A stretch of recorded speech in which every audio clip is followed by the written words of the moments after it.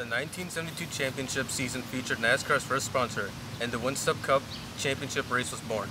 Also in the 1970s, television companies began to fully approach the sport, although they had hesitantly looked into NASCARs in the 1960s. The first live network television production of NASCAR Winston Cup Series occurred in the when CBS Sports broadcasted two 25-mile qualifying races for the Daytona 500. ABC also joined the action in the 1960s. In 1971, the first fully featured NASCAR race was born was shown on ABC and lasted for an hour and 16 minutes. The pursuit the purse boosted the television money was $20,000, a record for NASCAR's 100 miler. And the 1979 Daytona uh, 500, one of the most remarkable events of NASCAR, was broadcasted on the country as CBS filmed the race. The race came down to the final lap. Two veteran drivers, Donnie Allison and Cale Yarborough, ran 1-2 as they made the last stretch. Yarborough moved to the inside along Allison. Allison turned left, attempting to turn Yarborough into the center of the track and force him to fall back. But Yarborough did not move. The cars hit, hit again, then flew onto the outside wall. They drifted down to the infield, where both racers met. Bobby Allison went down to the infield after the race to check on his brother and ended up getting in a fight with Yarborough. Yarborough proclaimed Bobby had slowed on the final lap to act as a block for his brother. As Yarborough describes, when Bobby stopped, I went over and asked him why he did what he did. He bowed up and I slung at him. The showing received incredibly high ratings and extreme popularity across the country. Newsweek even featured an article and a picture. In the 1980s, NASCAR continued its streak of popularity, and even more people viewed the number of races on TV. By 1989, nearly every race in the top series was televised nationwide.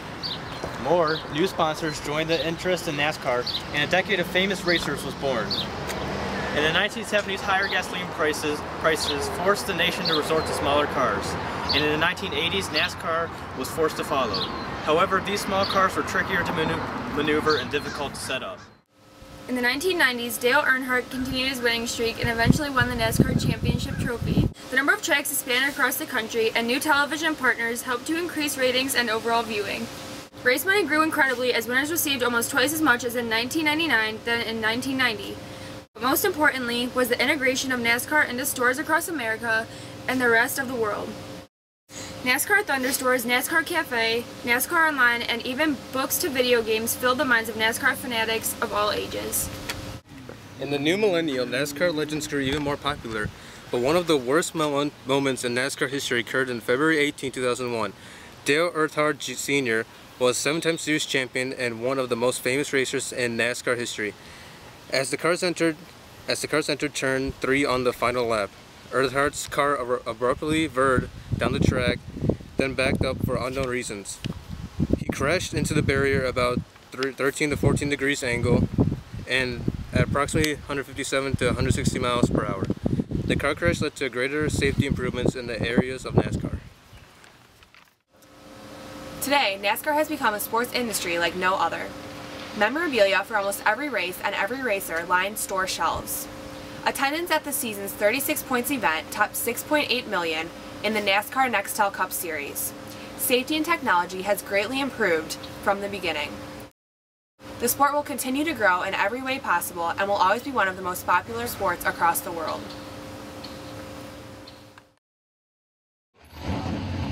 Ready to roll. was constructed in response to a growing popularity of NASCAR.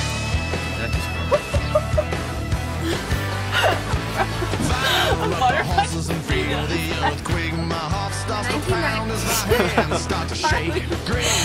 Can't do this. In the 1990s, Dale Earnhardt continued his winning. oh my god.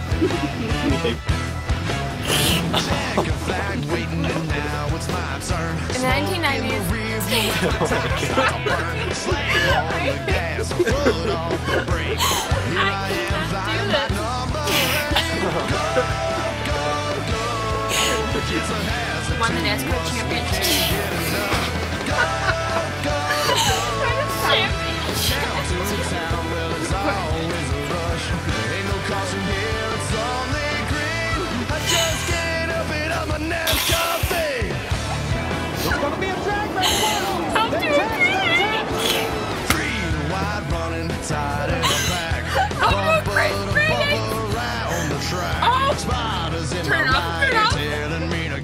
Gotta watch those RPMs so my engine doesn't blow. Tire goes down just in front of me. Smoke is all around and I can't see. One catches fire and another hits a wall. Only one can